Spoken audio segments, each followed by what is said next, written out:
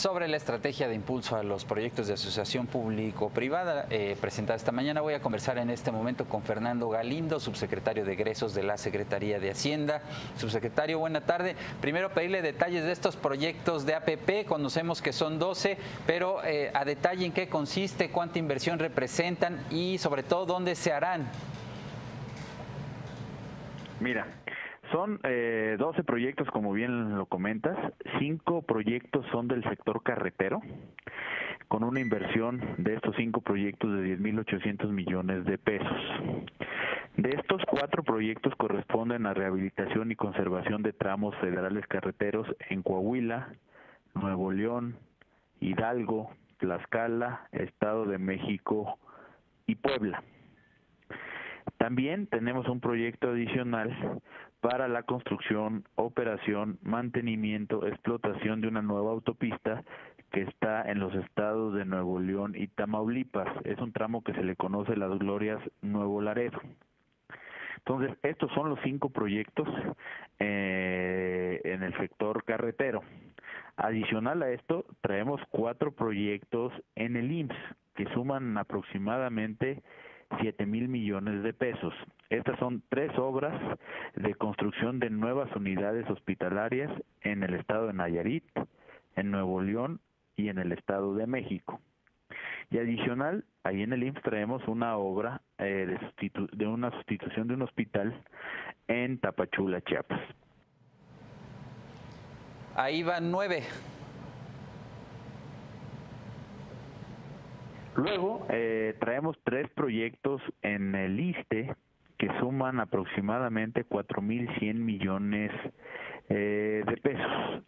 Traemos uno en el estado de Nayarit y Tabasco, que son sustitución de hospitales, y eh, uno en la Ciudad de México eh, que va a permitir incrementar la oferta hospitalaria en los servicios de salud en el sur de la ciudad. Básicamente esta suma eh, de estos 12 proyectos, así es como se divide. Eh, subsecretario, ¿cómo se garantizará transparencia en los procesos de contratación y también durante el desarrollo de los proyectos? Mira, el, año pasado eh, se aprobó en el Congreso de la Unión una reforma a la ley APPs, donde eh, permite tener mayor transparencia, rendición de cuenta en los procesos de licitación.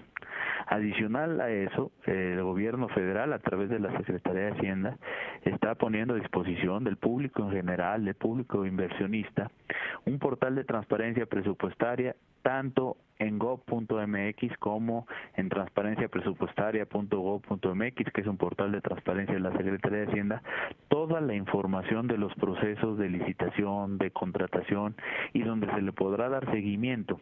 Es decir, traemos una estrategia muy importante en materia de transparencia y rendición de cuentas, además de que todos estos procesos de licitación tienen que ser auditados, revisados por la Secretaría de la Función Pública, así como por la Auditoría Superior de la Federación es decir, estamos tenemos un compromiso este con la rendición, con la transparencia, pero sobre todo con darle mayor y mejores servicios a la ciudadanía. Eh, ¿Cuándo inician estos primeros proyectos de APP y vienen proyectos adicionales para este año y más adelante también? A ver, los, los, los procesos de licitación, algunos ya se lanzaron las convocatorias, otros van a iniciar los procesos de licitación en los próximos días, es, decir, es una estrategia de muy corto plazo donde estos proyectos que se están anunciando el día de hoy ya están listos, ya tienen las autorizaciones correspondientes, los proyectos ejecutivos, los análisis costo-beneficio, es decir, ya están listos para iniciar y arrancar sus procesos de licitación.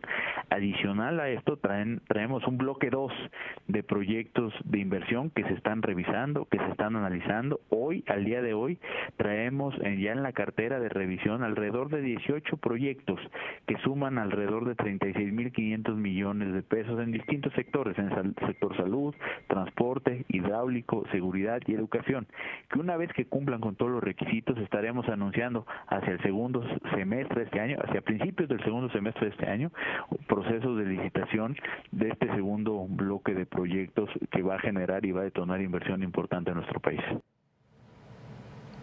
Subsecretario Fernando Galindo, gracias por la información. Muchas gracias por la entrevista. Un saludo a todos. Gracias. La Confederación